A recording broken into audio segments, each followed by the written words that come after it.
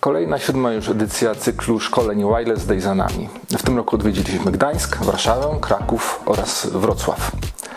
Łącznie zgromadziliśmy 200 uczestników. Zdecydowaliśmy się przeprowadzić także transmisję online, która dodatkowo zwiększyła zasięg tychże szkoleń. Jest to swego rodzaju e, rekord. Partnerem tychże wydarzeń była firma Kerling, dostawca znanych i popularnych bramek dostępowych technologii LoRaWAN, które są obecne w, we wszystkich największych wdrożeniach, e, jakie były e, realizowane w Polsce. Dla tych Państwa, którzy nie mieli okazji uczestniczyć w naszych szkoleniach. Y, zachęcam serdecznie do rejestracji i wypełnienia formularza na naszej stronie internetowej, a po dokonaniu tego otrzymają Państwo dostęp do wszystkich materiałów, które były prezentowane na tychże szkoleniach.